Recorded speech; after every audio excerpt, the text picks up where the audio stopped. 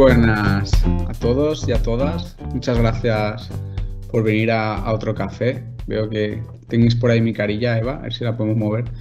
Eh, bienvenidos otra vez a otro de los cafés de Plain Concepts. Hoy, bueno, os vamos a hablar de la importancia del frontend en entornos empresariales. No os preocupéis si no sois muy técnicos, porque la charla no va a ser para nada técnica. Simplemente queremos hablar del gran papel que tiene el frontend en los últimos años y lo importante que es tenerlo en cuenta en las diferentes aplicaciones, ¿vale? Que vamos haciendo. Entonces vamos a presentarnos en un momentito. Ahí está. Pues yo soy Quique Fernández, trabajo en la oficina de Barcelona de Plain Concepts y tengo la gran suerte de que Eva haya aceptado ayudarnos hoy con esta charla. Eva em, es una de, las mejores frontend que tenemos en, Plain Concepts. Ella trabaja en la oficina de Madrid. ¿Qué tal, Eva? ¿Estás muteada? Cuéntanos cómo estás, cómo va todo. Hola, pues nada, por aquí, por aquí andamos. Qué bien, qué, ilusión que... Hay, que... hay, que halagarme tanto. ¿eh? qué ilusión que hayas podido venir. Eh, pues nada, vamos sin más, vamos a empezar, vamos a hacer una pequeña introducción. Entiendo que ya, ya estamos todos por aquí. Recordad que tenéis para hacernos preguntas, tengo un panel por aquí de preguntas que van a irme llegando las preguntas que hagáis, ¿vale? Las iré transmitiendo a Eva, cualquier comentario y tal. Y luego, muchas gracias a nuestra compañera Erika, está ahí en el backstage, también ayudándoos en lo que necesitéis. Entonces, vamos a ver primero una pequeña introducción a todo esto del frontend Luego queremos enseñaros a hablaros sobre todo de algunas buenas prácticas muy por encima, sin entrar en, detalles muy técnicos, ¿vale? Que, consideramos en los proyectos frontend, sobre todo en proyectos empresariales. Y luego también hablaremos sobre los sistemas de diseño, que es algo muy importante que, empieza a verse en muchas empresas, pero que no está adoptando todo el mundo y parece que debería ser interesante, ¿no? Que, que las diferentes compañías, cuando hay sus aplicaciones, sus diferentes sobre todo aplicaciones eh, empresariales donde hay muchas más de una aplicación, no que solo tienen una sola aplicación de su producto, pues pueden ayudar mucho a sus desarrolladores, sus equipos, haciendo ese tipo de sistemas y luego simplemente unas conclusiones, ¿no? El por qué darle importancia a todo esto, entender qué retorno nos va a dar tener esta gente que hace frontend en, nuestras compañías trabajando y trabajando en nuestros programas, webs, aplicaciones o lo que sea. Muy bien, pues vamos, vamos a ver esa pequeña introducción. Hemos intentado hacer algo muy, muy simple, ¿vale? Simplemente hemos hecho un antes y un después. ¿Cómo era antes la web? Antes hablamos de... No recuerdo cuándo es la fecha de esto, porque ahí pone 2018, pero podía ser mucho anterior. Eh, antes, hace 10, 15 años, donde ya había mucho software, donde se hacían muchas cosas con programas, pero toda la complejidad de estos programas, de estas webs, eh, de, todo lo que hacíamos en el mundo del software residían en la parte que llamamos la del backend. El backend, eh, para los que no lo sepan, es esa parte que está alojada en nuestro servidor, que se ejecuta en el servidor y se ejecuta para todos los usuarios eh, el mismo código. ¿no? Es esa parte muy hablando grosso modo. Entonces había también pocos dispositivos a los que adaptar nuestras webs. Esto hacía que aunque sí que había varios navegadores, ¿no? Netscape, Internet Explorer, había cosillas por ahí, pero sí que hacía que no tuvieras que captarte demasiadas resoluciones. Todo el mundo tenía más o menos una pantalla 4 tercios en su casa o en la oficina y no había muchos sitios más donde adaptarse. De hecho, no había más dispositivos. Con mucho tenías pantallas en algún sitio, pero siempre eran pantallas de ordenador. Y luego que muchas veces, las web, aunque la web ya era un gran salto internacional, muchas cosas eran más locales que internacionales. Hoy en día cualquiera que saque algo a Internet casi antes lo saca para afuera que para adentro. Sobre todo si vivimos en países como España, que son más pequeños, probablemente nos aseguremos de que la web esté en inglés y obviamente la pondremos en castellano, pero sobre todo nos aseguraremos que está en inglés y que es para un mercado internacional. Es un tema que ha tenido que todo es mucho más internacional y antes no lo era tanto. Entonces, estas webs estaban bien en su época, eran bonitas, había gradientes, había cosas, la experiencia, pues más o menos usuario lo entendía, pero ha habido un gran cambio a partir de hace 5 o 6 años, podemos decir que ha habido un gran cambio, que es el que veremos en después, que es esto, ¿no? Es como la web ha pasado de ser una herramienta que está ahí a ser toda una experiencia, ¿vale? Ya no son solo cosas, no es un PDF, sino que es una experiencia donde el usuario va a entrar y después de salir va a tener una experiencia. Puede ser una experiencia personal o algo profesional, no tienes por qué tener eh, cuadrados en 3D dando volteretas, una aplicación profesional, pero es que tienes que dar una experiencia acorde. Todo esto no es gracias al frontend, sino que es gracias a la experiencia de usuario y la interfaz de usuario, lo que llamamos la UX y la UI, que es ese departamento que ha ido creciendo en los últimos años cada vez más y más y más en todas nuestras empresas o en agencias que contratemos externas, que han ido haciendo que todo este software que funcionaba y hacía una cosa, ya no solo puede hacer eso, sino que tiene que hacer más cosas en un tiempo más rápido y tiene que darnos una experiencia distinta. Ya es decir, una tabla ya no es una tabla donde hay datos, sino que tiene que haber unos filtros que tienen que animarse de una manera porque está estudiado que funciona mejor, tiene que adaptarse a diferentes dispositivos. Siempre hablábamos, ¿no? El típico GIF que hemos puesto ahí del móvil, la tablet y el desktop, pero es que tenemos ya relojes, ahora ya hay móviles que se doblan, móviles que tienen teclado, otros que no, eh, pantallas de la famosa pantalla de la nevera, que creo que eso nunca ha salido bien, ¿no? Pero también tenemos también el VR, donde ya se empiezan a ver webs, hay, eh, pues si veis streamings de videojuegos, por ejemplo, donde hay jugadores jugando a realidad virtual, se ponen webs con el chat o cosas que quieren ver, o tenemos la realidad mixta que tanto nos gusta a las empresas que trabajamos con Microsoft, tenemos las HoloLens, las HoloLens 2 que han dado un salto. Entonces cada vez tenemos más sitios donde queremos ver la misma información dando muchísimas experiencias diferentes. Y esas experiencias que inventa la parte de UX y UI es la parte de frontend quien ayuda a hacer esto. ¿Por qué? Porque un desarrollador, una desarrolladora que se encargue más de partes, de datos, de backend y así, es posible que le cueste mucho más, si no tiene una especialización más clara, hacer esas partes, esas experiencias nuevas. Esa experiencia que habéis visto de los cuadros que se mueven con sombras, sí que necesitas una persona que tenga un perfil un poco más creativo que además pueda discutir con el diseñador si esto funciona o hay que retocarlo de alguna manera o con la persona de experiencia de usuario. Y es ahí donde nosotros creemos que hace inciso este departamento o esta serie de equipos que llamamos frontend, que puede ser desde un departamento una persona o incluso un perfil diseñador que empieza a aprender la parte de frontend o un perfil de programador de toda la vida que se involucre en esa parte más creativa, entienda también de colores, composición, tipografías y entienda esa parte. Es decir, no tiene por qué ser una persona, es un rol en la empresa. Una misma persona puede hacer diferentes roles pero sí que es verdad que hay que dejar claro que es un rol, un rol diferencial y cada vez coge más importancia. Nosotros, Eva y yo, cuando discutíamos sobre eso, decíamos un poco que era como eh, el pegamento ¿no? entre la parte de backend y la parte de diseño. ¿no? Estos que hacemos de moderador en el debate cuando nadie se está entendiendo, llega alguien y consigue que haya un acuerdo entre los datos que hay que ver, cómo mostrarlos, cómo va a rendir y lo bonito que ha de ser, la experiencia que hay que tener y la usabilidad. Vale, Em, lo de ahora ya estaría, entonces yo creo que ahora ya podemos pasar al siguiente tema. Así, esto era un ejemplito que os queríamos enseñar. Esta es la misma aplicación, esto lo hemos hecho usando WebArchive, que es esta web que puedes ver cómo era hace 100 años las cosas. Y hemos cogido lo mismo, es una aplicación que se llama OpenTable, que no conocía, pues la típica aplicación para reservar restaurantes y más. Y es muy interesante este ejemplo muy concreto porque estáis viendo lo mismo en décadas distintas, ¿no? En la primera, al final estás viendo la lista de restaurantes si quieres reservar un restaurante. El backend de estas dos aplicaciones seguramente sea distinto porque han pasado muchos años, pero no tendría por qué ser distinto. Probablemente las operaciones que se hagan en backend sean muy parecidas. Pero la experiencia que tiene el usuario es totalmente distinta. Podéis ver que abajo se ve que el diseño y la experiencia de usuario han evolucionado muchísimo y eso ha hecho que haya un montón de componentes complejos, como ese buscador de location y tal, que cuando escribas, te salga un desplegable con sugerencias, esos checkboxes que salen a la izquierda, esos filtros, esas animaciones que ven aparecer, ese mapa que se verá cuando cliques en Map y verás un mapa con todas las cosas. La experiencia es totalmente distinta. El usuario cuando entra a la de arriba o a la de abajo, la experiencia que recibe es distinta. Y hacer esto tiene una serie de complejidad muy notable que es donde entra todo este perfil de frontend que comentamos y muy bien Eva nos va a ayudar a entender hoy. Vale, pues bueno, eh, a ver, yo en, esta parte mm, para introducir un poco, eh, hay que tener en cuenta que, todo esto de las buenas prácticas en el front se inician un poco por la evolución de estas tecnologías, ¿vale? Porque al final pues, eh, se han ido mejorando, se han, se han ampliado muchísimo y al final han forzado a, tener esa necesidad de, establecer unas reglas para que todo el equipo trabaje de la misma forma, ¿vale? Entonces, eh, nosotros hemos querido seleccionar vamos, una, selección, es una selección de, buenas prácticas más orientadas al front. Hay muchísimas más, hay algunas que compartimos también con el back, pero bueno, eh, hemos querido hacer esta selección y creemos que es así bastante, bueno, de lo que consideramos más importante, ¿vale? Entre estas cosas pues tenemos eh, las convenciones de nombre, ¿vale? Eh, tanto para CSS como para JavaScript, en CSS pues tenemos el BEM, que no sé si lo habréis oído.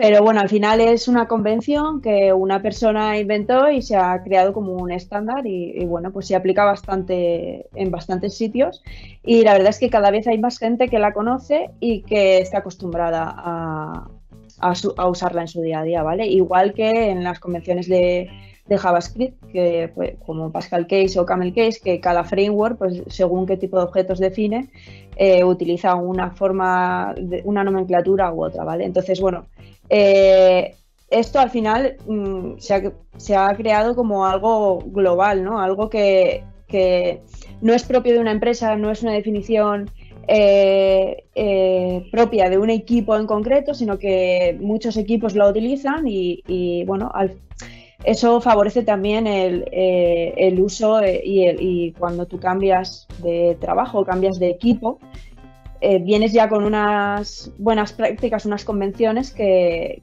bueno, que favorecen y que te, hacen integrarte más rápidamente, ¿vale? Bueno, por otra parte, tenemos la eh, accesibilidad y semántica, que es una parte bastante importante, que no se le suele dar mucha importancia. La verdad es que es muy típico ver, sobre todo a nivel de semántica, eh, maquetar con divs. He visto hasta maquetar con span. Y, bueno, que hay que darle importancia a esta parte porque realmente eh, así se, ha establecido HTML y está, está por algo, ¿vale? Entonces, bueno, eh, eso por una parte. Luego también hay otras reglas de accesibilidad que, creo que es importante que las empresas empiecen a implantarlas porque, bueno, hay leyes que regulan esto, no se aplican o, se hace la vista gorda, pero creo que es algo que, que empezará a dar problemas dentro de un tiempo. ¿Vale? O sea que es Ahora que hablas de accesibilidad, mira, nos hace una pregunta Oscar que dice que en su impresión, o con todo esto, ¿es su impresión o con todo esto del hype de las animaciones y el estilo, hace que la web sea menos accesible? ¿Tú qué opinas? A veces las animaciones eh, y hacer mm, ciertas cosas que plantea diseño no favorecen a que sea accesible, eso es verdad. Siempre hay que intentar un poco llegar a un acuerdo con diseño, sobre todo si, es una web que tiene que ser accesible 100%, creo que a, veces dificulta. Pero bueno, siempre eh, en esas situaciones creo que le das más vueltas y es una inversión de tiempo que tienes que hacer para pensar cómo, cómo plantearlo de tal forma que, eso se vaya, se vaya a ver por un, por un lector o, ¿sabes? Que sí que, vamos, opino que, que sí, que, que a veces se... Exacto, pero justo ahí, Oscar, es donde entra la riqueza de este perfil. Es decir, no simplemente cogemos lo que nos dicen y dicen, píntalo así. No sé si recordáis el famoso Pixel Perfect de hace unos años. Esto ya no existe. A nosotros ya no nos piden, esta línea tiene que ir ahí, porque es como, ¿no? Esto se adapta, se mueve, danos unas guías de cómo ha de ser, pero no te dicen esa cosa así. Entonces, ahí donde este perfil de frontend debate eso y hace un poco el tira y afloja, ¿no? De depende de lo accesible que te pida negocio que ha de ser, depende del diseño cómo ha de ser y es donde al final eh, el expertise que tiene esa persona ¿no? es donde que ayudará a que todo el mundo salga contento en, ese tipo de cosas. Exactamente, y además lo que decía aquí que el Pixel Perfect es que ahora el concepto de Pixel Perfect eh, es otra cosa diferente, ¿sabes? Ahora lo que aplicamos otras reglas para que sea Pixel Perfect, pero para nosotros eso no es ir al pixel, o sea, es, hay, ciertas normas que cumplimos en base a lo que diseño nos dice, pero para nada es cuadrarlo, vamos. Eh, bueno, eh, continúo. Eh, bueno, por otra parte, la, carga de los ficheros según la necesidad, según lo que vas previsualizando, ¿vale? Esto para mejora de rendimiento. También el eh, gestionar la compatibilidad con todos los navegadores, que hay herramientas, como los Polyfills, el Autocorfixer, el Browserify, ¿vale? Que eso favorecen a que, a que tengamos compatibilidad con todos los navegadores. Sí que es verdad que últimamente, pues todas las evoluciones que están teniendo, cada vez todo se va unificando y, ya nos vamos encontrando menos problemas. Pero bueno, aún seguimos teniendo ahí algún navegador que otro que nos da un poco dolor de cabeza. ¿Vale? Y, bueno, eh, otra de las cosas mm, bastante importantes es el tema del responsive, que, podréis decir, bueno, eso a lo mejor no lo consideramos una buena práctica, pero en sí, o sea, el responsive no sería buena práctica, sino la forma de aplicarlo, ¿vale? Hay ciertas eh, bueno, venimos haciendo un responsive un poco raro, eh, no definiendo bien los, puntos de ruptura de las, de las, aplicaciones, no definiéndolos en base también a, las necesidades de esa aplicación o al uso que va a tener, ¿vale? Entonces, se han ido poniendo breakpoints según... Mm, según venía, venía bien eh, según el diseño, ¿no? Entonces, para aplicar un buen responsive y tener unas buenas prácticas en ese tema, eh, pues hay que definir unas variables de breakpoints, tenerlas como variables, porque luego cada uno pone, si hay varios desarrolladores, cada uno pone lo que le parece bien y lo que en ese momento le viene bien también, porque bueno, luego te encuentras aplicaciones que rompen dependiendo de, pues cada página rompe, tiene un, breakpoint a, diferentes niveles, ¿no? Y ves unas cosas raras, ¿no? De momento algo cambia, pero en otra sección no, bueno, que es un poco desorden. Entonces, en este punto, pues hay que, hay que mantener un orden, establecer, establecer esos puntos de ruptura y luego aparte pues hay estrategias como Mobile First o Desktop, First que, bueno, que en función del diseño y de, y de, la aplicación y del uso que se le vaya a dar y los dispositivos que la vayan a, a utilizar, pues eh, se aplicaría una forma u otra, ¿vale? Y luego, eh, por último, una de las de, cosas que yo considero importante también y seguro que Kiki también es tener eh, los ficheros y tener una estructura de ficheros CSS eh, bien organizada, ¿vale? Porque muchas, muchas veces tenemos el caos ahí. Son dos o tres ficheros si hay suerte, porque hay sitios en los que solo hay uno y todo ahí puesto y bueno, al final es imposible mantener eso.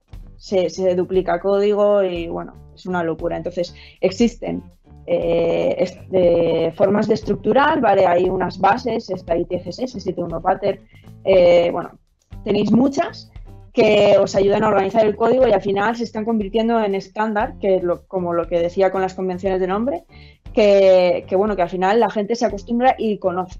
Y también están documentadas, que eso es lo bueno, que no es algo que tienes que ir tú documentando, sino que ya lo tienes, eh, tienes un montón de blogs que lo tienen ahí y, lo puedes consultar, cualquiera lo puede consultar, ¿vale?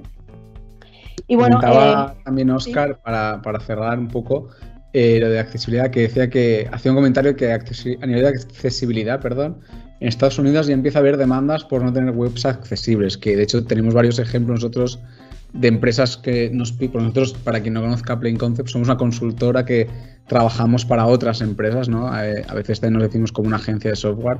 Creamos y ayudamos a crear productos y ayudamos equipos a trabajar en sus productos. Y tenemos empresas como por ejemplo Microsoft que cuando nos pide una web son realmente muy estrictos con accesibilidad. Es decir, la accesibilidad ya no es algo bueno y que el lector de, lo lea, sino que hay un montón de herramientas para probar accesibilidad donde hay empresas que, te pasan esos tests y si no los pasas, la web no es entregable, con lo cual hay que tener cuidado y tenemos un montón de ejemplos eh, donde eso se nos exige. Aquí como que pasamos un poco más, eh, pero ya llegarán los problemas. Yo, vamos, yo, vamos, a mí es una cosa que, me tiene bastante preocupada porque las web públicas la mayoría no lo cumplen e incluso de, vamos, se supone que por ley tendría que estar, eh, vamos, todas las empresas que presten servicios públicos, las administraciones públicas, colegios, institutos, todo esto, tendría ya tener, tener al menos un mínimo de accesibilidad y seguramente que, vamos, eh, la gran mayoría no lo cumple. Instituciones oficiales, cosas así. Sí. Programa de la Exacto. renta. Exacto, eh, federaciones deportivas también. O sea, todo al final, todo lo que va subvencionado público y todo, bueno, al final, el gobierno sí y tal, eh, eso tendría que estar cumpliéndolo sí o sí. Pero vamos, seguro que probamos una web al azar y, y posiblemente no lo sea. Vamos, hay, hay un alto índice de probabilidad de eso. Vale, eh, la siguiente, hay otra pregunta eh, que decía Samu, que decía que en la web hay mucho de responsive para aprender a aplicar, pero que si le podemos recomendar eh, sobre aprender o aplicar Adaptative Design en web. No sé si tienes algún comentario, yo tengo uno, pero... pues la verdad es que no. Pues ah, sobre eso que, que, dice Samu, al final yo creo que más o menos salieron un poco a la vez, pero casi nadie hace Adaptative Design en web porque era como hacer un trozo del responsive. Yo siempre digo que, aunque no es una traducción así, pero el responsive para mí siempre ha sido una parte adaptativa con una parte de responsabilidad, que no viene de ahí la palabra. Porque no es solo que se adapta a la pantalla, sino que tenga sentido la forma en la que se adapta a las diferentes pantallas, que además casi siempre se hace a, uso a dispositivos, tanto pantallas, porque esto de ir haciendo pequeño y grande el navegador, sí que hay usuarios que lo hacen, pero la mayoría de las veces tú cuando adaptas algo es eh, para todos los dispositivos que hay. Y sobre todo es eso, no es solo adaptarlos, sino que es de una forma que yo siempre uso responsable, aunque no tenga nada que ver con, lo que hay, pone ahí de responsive, pero en cómo lo adaptas, que tarde poco en cargar, que pueda entrar si tengo poco internet, hay muchas más cosas que no es solo que las cajitas se ponen en una columna en vez de en tres. Por eso seguramente encuentras poco sobre Adaptative, porque se ha usado mucho más históricamente responsive, se ha dejado un poco más de lado. No sé si te sirve, si no nos dices. Claro, yo también en cuanto a Adaptative, lo que, lo que entiendo muchas veces es, o sea, no que haya un comportamiento de que cajas se mueven, sino que dentro de un, vamos, eh, pues una franja de breakpoints, eh, contemplar, por ejemplo, vamos a poner un ejemplo porque así igual me explico mejor, en desktop, ¿vale? Yo para mí normalmente eh, fijo el mínimo en 1366 y ya hacia arriba, pues ahí intento que se adapte. No sé si va por ahí, es que la verdad no... Sí, va un poco por ahí. Históricamente cuando hablan de adaptative es cuando te dicen en 1366 se ve bien, pero en 1367 no. Claro. Ah, bueno, pues es un ahí. Ejemplo muy exagerado, pero, No te sabría decir dónde ver, dónde aprender eso, porque yo creo que al final es un poco ponerte a prueba tú. Y yo lo que intento es los, bueno, fijar esos, esos puntos de ruptura y las media queries no hago mini-max, ¿vale? Si, si, es mobile first, siempre pongo la min y las voy ordenando. Y si es al revés, o sea, si es desktop first, las pongo max. Pero no, no hago brechas, no, no hago rangos entre una y otra. Porque al final siempre te dejas partes sin cubrir. Y como que el código queda un poco más, más sucio. Para mí, ¿eh? Bueno.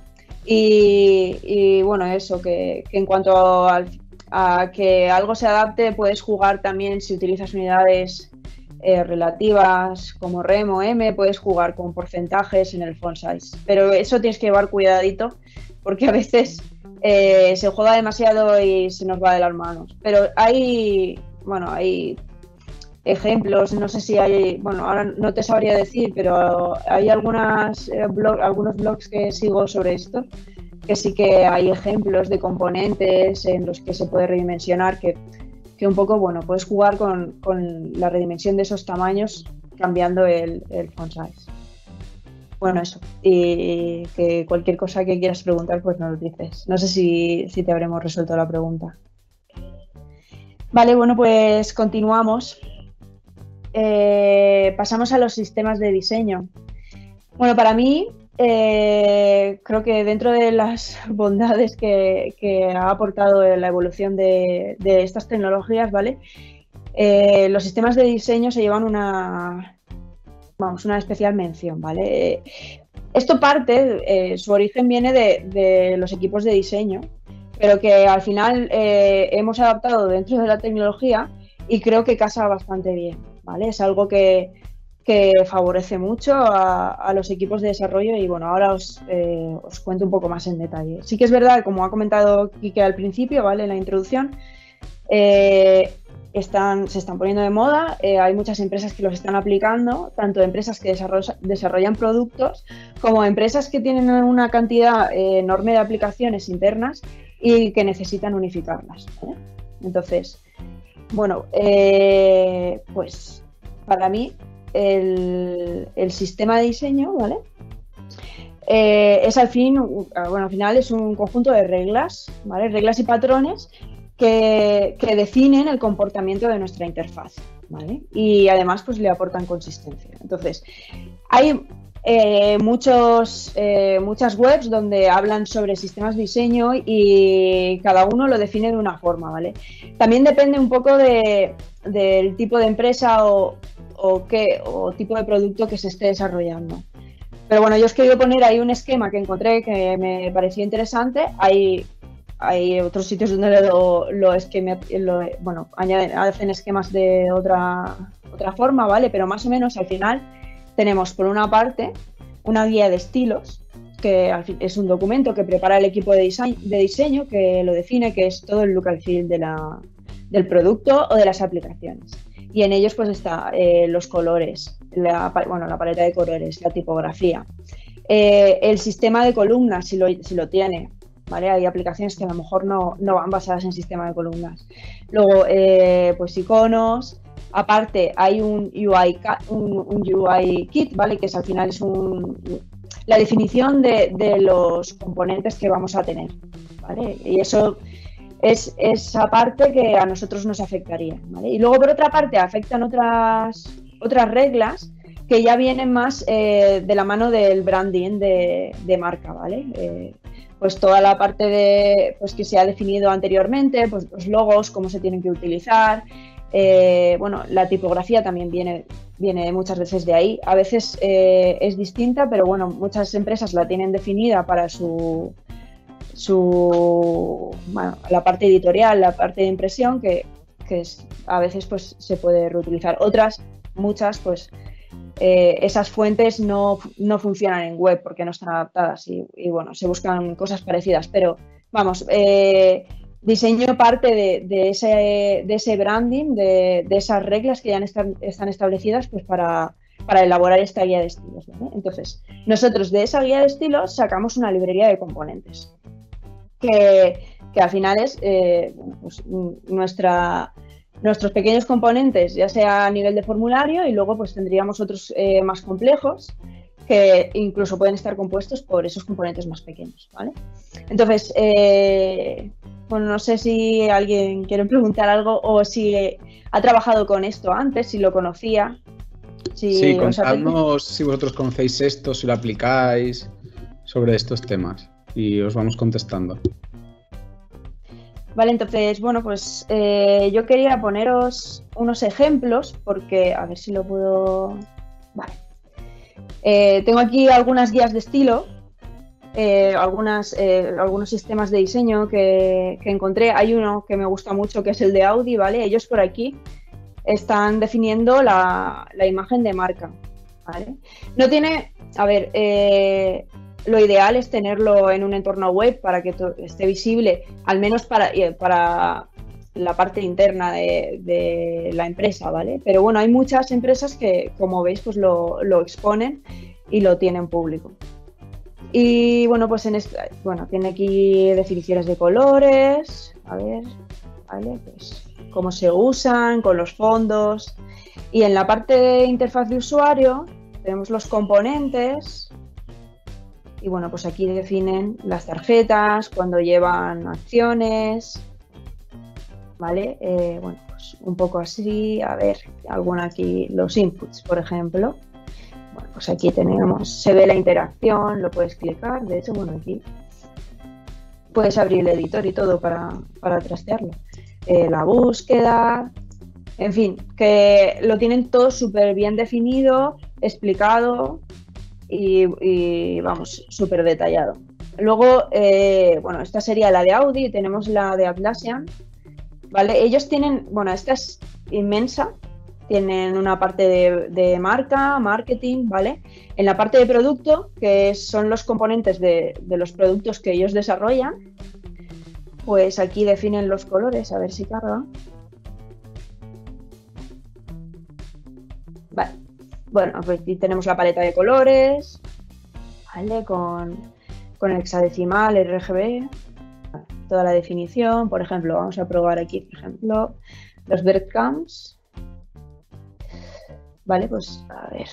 Aquí, bueno, está especificando cómo se tienen que alinear, lo que tienes que hacer, las buenas prácticas. La verdad que aquí lo tienen súper detallado. Sí que es verdad que esto al final es un desarrollo de producto. Esto seguramente lo habrán hecho de forma pues, para que los desarrolladores del, equipo eh, tengan esta información a mano.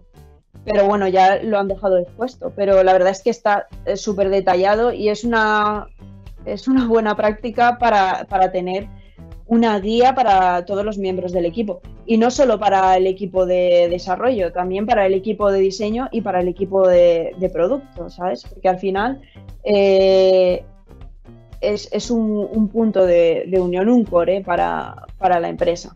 Y, ya no os imagináis si, sois una super empresa como Audi, por ejemplo, ya es que no es útil para ellos, porque Atlassian hace software y el software lo hacen ellos, pero Audi contratará campañas de marketing, contratará mucho software que van a hacer otras pequeñas empresas. Entonces simplemente les dicen, oye, en vez de decir qué colores son los de Audi, sino mira, aquí tienes todo lo que tienes que saber sobre la imagen de marca para digital de Audi. Y ya con eso cualquier profesional coge eso y entiende lo que ha de hacer.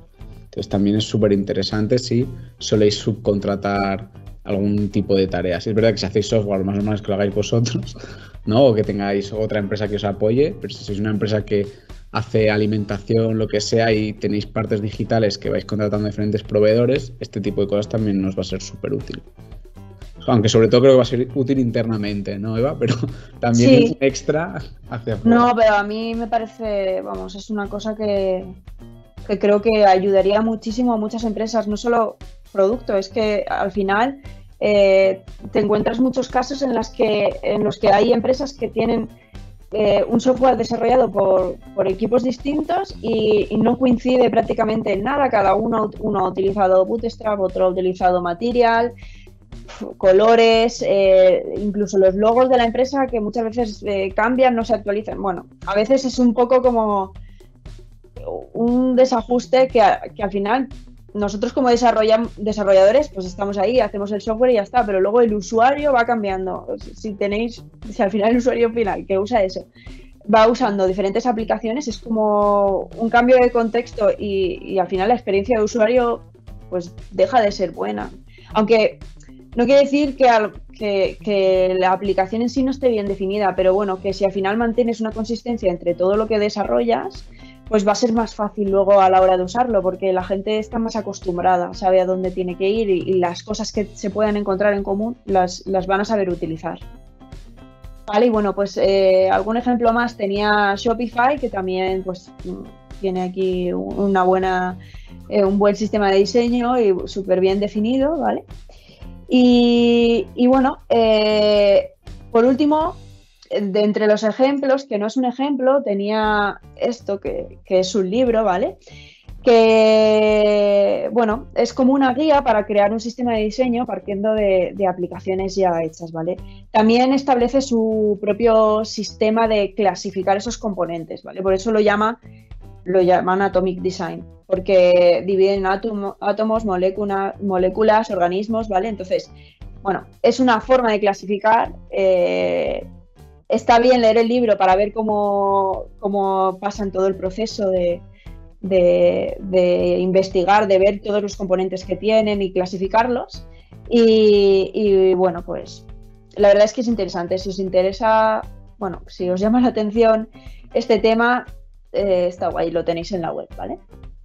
A ver, voy a pasar a las diapositivas. Y luego que no penséis que esto de, por ejemplo, este ejemplo como ejemplo de Atomic Design no es algo que saliera ayer, ¿eh? esto lo hizo Brad Frost y hará más de dos años. Que dos años en Internet es como 50 en automovilismo, quiero decir. O sea, que no es algo que acabe de salir un ejemplo de algo innovador, sino que es algo que está bastante rodado ya que si los equipos en los que trabajáis no conocen, ya que no apliquen, porque una vez lo conoces, pues aplicarlo o no, pero que no conozcan que este tipo de cosas existen, Quiere decir que falta ahí una pequeña actualización de conceptos ¿no? de los últimos tres años. Entonces es interesante al menos saber que Atomic Design y este tipo de cosas existen. Luego ya cada uno decide. Claro, aunque siempre leyendo y informándote de todo esto, sacas tus conclusiones y ves un poco qué es lo que te puede beneficiar. No todo va a encajarte a la perfección, porque bueno, tamaños de empresas hay miles y, necesidades también. Entonces, eh, se trata un poco de ajustarse. Bueno, eh, en las transparencias he dejado los enlaces de, de los ejemplos y aquí abajo para que lo tengáis si os interesa. Y, bueno, eh, ahora quería hablaros un poco de los, de los beneficios, porque bueno, yo creo que conforme he ido hablando, sí que hay algunas cosas que, que, ya he un poco dejado entrever, pero entre, entre las cosas positivas está una mayor agilidad de desarrollo y diseño, ¿vale? Que eh, sí que es una agilidad cuando se empieza a, elaborar este sistema de diseño, puede que esa inversión de tiempo, de tiempo sea algo mayor al principio. Pero luego, cuando tú tienes el equipo ya acostumbrado a eso, ya los componentes tienen una estabilidad, todo tu sistema es robusto, elaborar nuevas aplicaciones o continuar o, mantener lo que ya existe es mucho más ágil, tanto para el equipo de diseño como para el equipo de desarrollo. Luego, por otra parte, el tema de la consistencia, tanto para, consistencia en el diseño a nivel de, UX o iBal, a nivel de marca, porque eso es también bastante importante. Al final, una empresa, si, si tu marca se ve de una forma en un sitio y de otra en otro, pues no sé, eh, a mí eso no, me genera, no sé, es como una señal de dejadez, desde mi punto de vista. Eh, lo veo así, ¿vale? Y luego a nivel de código, porque bueno, todo se unifica, hay un core y hay un mantenimiento de ese core que, bueno, que da consistencia a esa aplicación. Luego, por otra parte, la curva de adaptación de las nuevas incorporaciones y de las rotaciones, porque al final eso favorece que, los equipos puedan rotar, eh, es menor. Lo tienes todo detallado, definido y, bueno, la gente sabe dónde tiene que ir a buscar eh, esa información. Y, bueno, también eh, un punto a favor es que la colaboración entre los equipos pues mejora. Hay, en la comunicación con el equipo de diseño, con el equipo de desarrollo, el equipo de producto. Al final, pues eh, es un es un ciclo que, se respeta y, bueno, pues se participa, es una participación conjunta. Y, bueno, entre otras, que seguro que hay muchas más, eh, está pues la mejora del mantenimiento y la calidad de los desarrollos, que a la larga, pues yo creo que es algo bastante positivo porque bueno, al final eh, muchas veces lo que se viene haciendo y la costumbre es eh, en la parte front es un poco, suele haber bastante más dejadez que en lo que en la parte back, entonces como que vamos tirando, vamos tirando y luego hay un caos tremendo que cuando se va a mantener muchas cosas se repiten.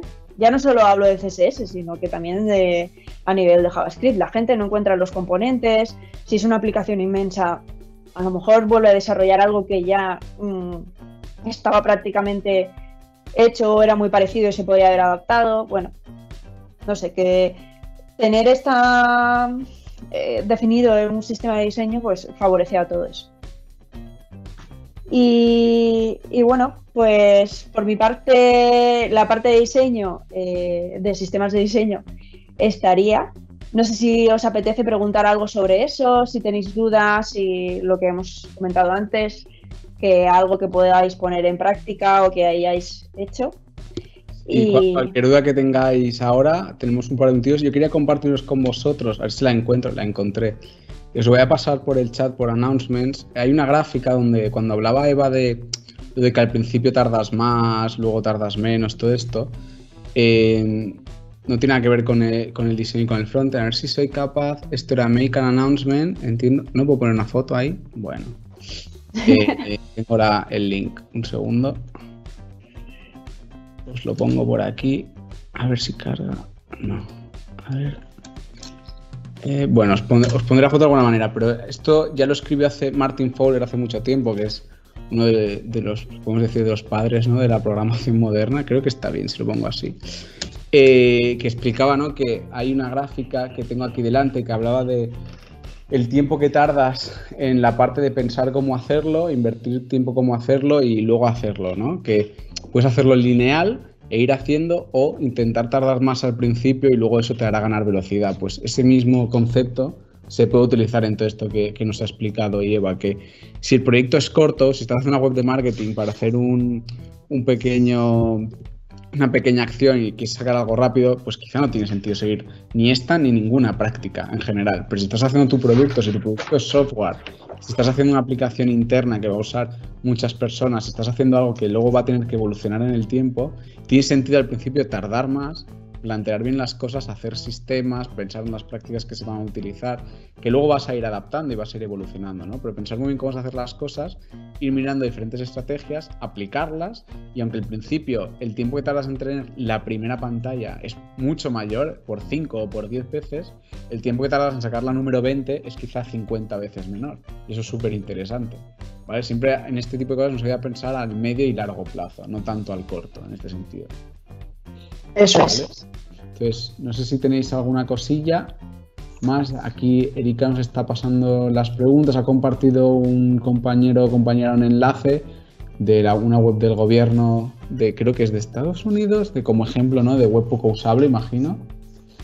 Eh, sí, el de Estados Unidos es bueno, es un ejemplo, un ejemplo más.